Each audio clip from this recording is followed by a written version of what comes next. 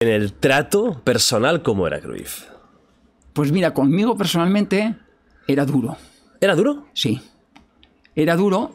En aquel momento yo incluso algún día he sentido que me faltaba el respeto. Hostia. Sí. Pero estaba muy confundido. Estás confundido. Sí. Y lo, ves, lo has vivido con, Sí, con los años. pero relativamente eh, pronto, ¿eh? Oh. Lo sentí porque yo con Johan, cuando salí del Barça, siempre he tenido muy buena relación con él. Eh, Casi todos los jugadores han tenido buen- buen rollo con Sí, él, ¿no? Sí, ¿Verdad? sí, sí, sí, porque era, es de estas personas que te marca. Entonces hay que ser muy desagradecido. Claro. Eh, yo no he, no he conocido a ningún jugador que le haya hecho algo que obviamente no se pueda perdonar para nada.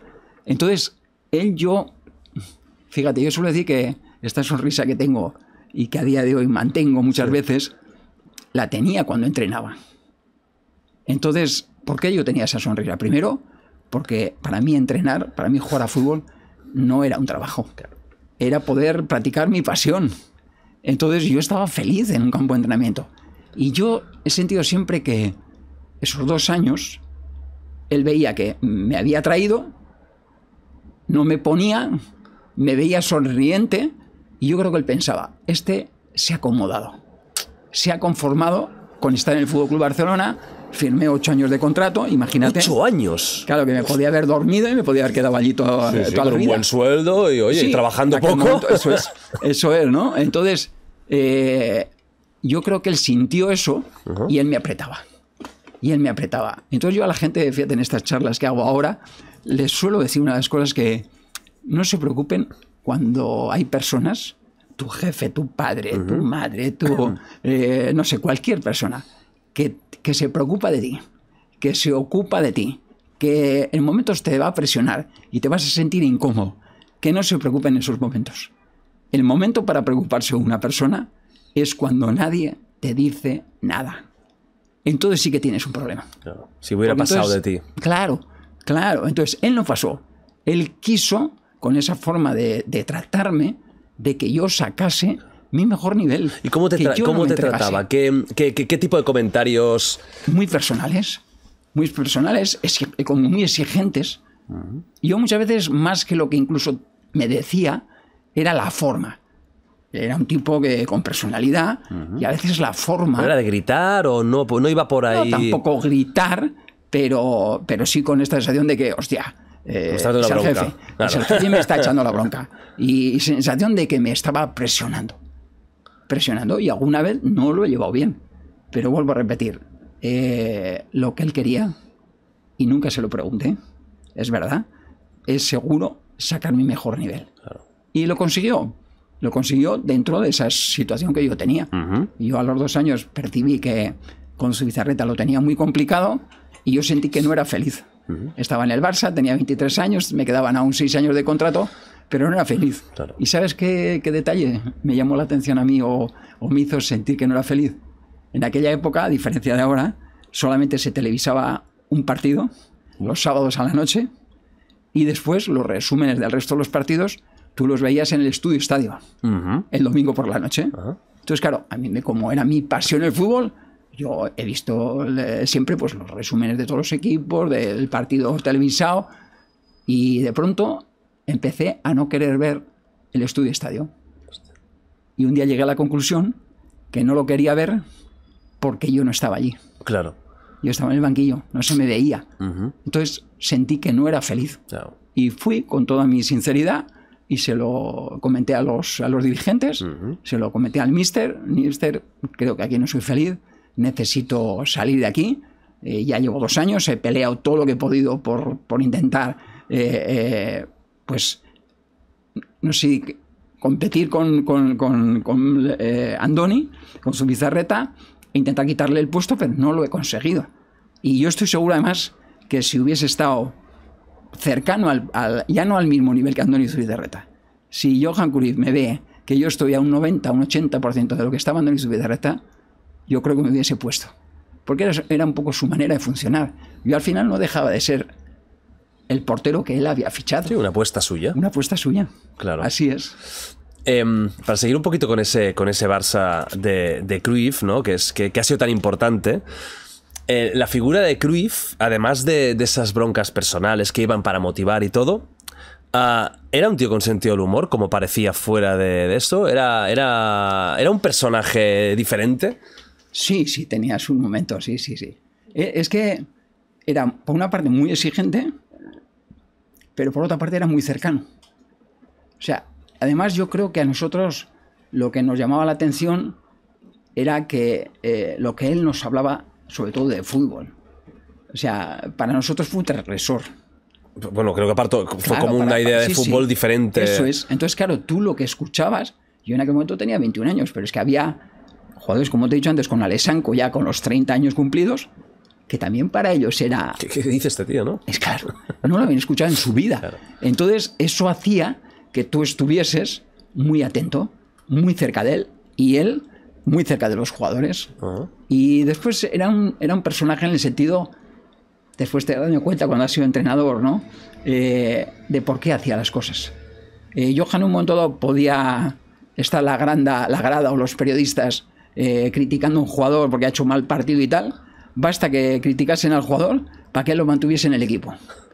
Y de pronto al que había hecho un partidazo al lado, venía de hacer dos partidos buenísimos y tal, pues eh, lo veía un poco eh, por encima de, eh, de- de sus posibilidades o, o por encima en, en- estado de anímico Sí. de lo ideal y te sentaba un ratito en el banquillo un día. Entonces, un poco a contracorriente. Y yo después me he dado cuenta que esos eran los entrenadores valientes, los buenos entrenadores, los que a veces incluso hacían cosas pensando en el día a día de cada uno de los jugadores, pero pensando en el equipo, en lo mejor para el equipo.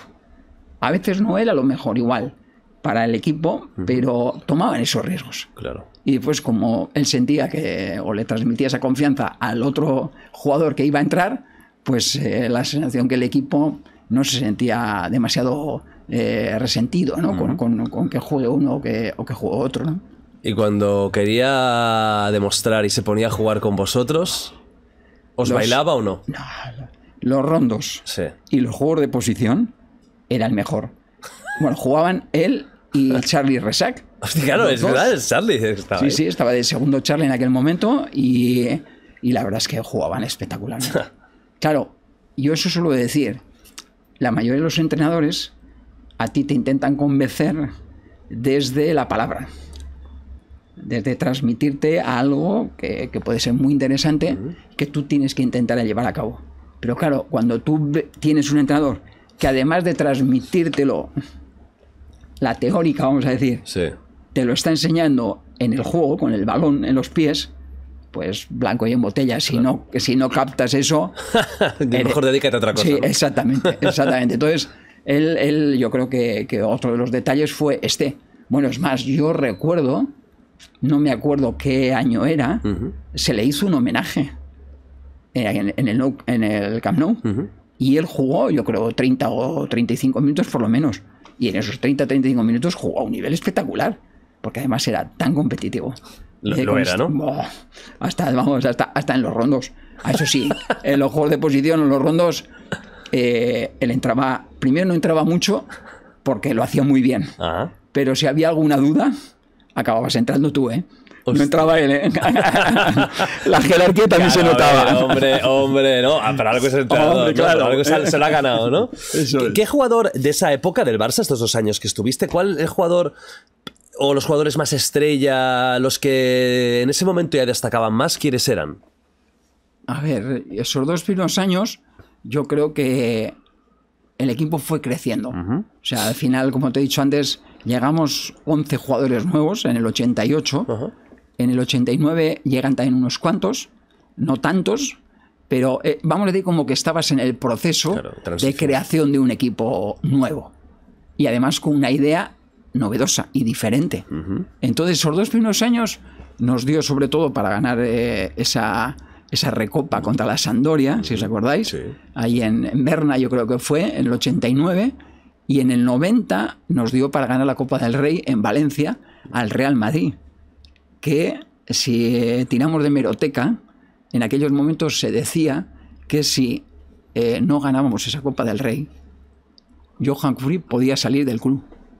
Y claro, yo a veces ahora en la situación que estamos, o estos dos años atrás, yo cuando he hablado en radio o en, o en- o en otros medios, eh, a la gente le digo, tirar un poco de meroteca y mirar que lo que realmente le ha dado la posibilidad al Barça a crecer o de crecer es haber tenido un poco de paciencia. Costó los inicios de Johan Cruyff, costaron los inicios de Fran Rijkaard, costaron los inicios de Pep Guardiola, costaron los inicios de Luis Enrique, pero con todos se acabó ganando lo máximo. Entonces, hay que tirar un poco de paciencia para, sabiendo que tienes un entrenador eh, como el que está ahora, por ejemplo, Xavi, que conoce la casa perfectamente, que tiene una idea de juego muy en relación a lo que es el Barça, pues hay que tener un poco de paciencia también, que estas cosas no... Esto no es como llegar a un vestuario, darle un clic ¿eh? Eh, y, y desconectas todo lo que les ha enseñado la- los anteriores entrenadores y les das eh, al, al clic de nuevo y le pones en on y ya todos eh, eh, encajan ¿eh? con tu idea futbolística. No, esto requiere un poquito de tiempo y un poquito de paciencia. Y es lo que tenemos que tener, lo que estamos teniendo, yo creo, los culés en este tiempo, ¿no? Y yo creo que, que vamos a volver a ganar. ¿eh? De hecho, ya hemos ganado esa Supercopa, pero yo creo que vamos a ganar títulos importantes otra vez. Chavineta, ¿eh? Sí, yo creo que sí. Yo creo que tiene las capacidades para, para poder eh, tener un Barça eh, ganador de nuevo, ¿no? ¿Llegaste a coincidir con Stoikov o vino un poco después? No, fichó como a un año o dos después, ¿verdad? Sí, yo creo o bien en el 90 o bien en el 91. No estoy seguro Otro ahora. personaje también, ¿eh? Único. Personaje, o sea, lo he sufrido como portero rival. Claro, es verdad. Eh, si algún gol me ha hecho. Algún gol, ¿eh? algún golito, ¿eh? Algún me ha hecho y hemos tenido muy buena relación. Porque él tenía muy, muy buena relación con José Mari Vaquero, con Chico Bernstein. Claro, amigos Con- íntimos. Eso es, amigos, amigos íntimos, con los cuales yo también con el paso del tiempo he mantenido, ¿no? A pesar de estar en otro equipo.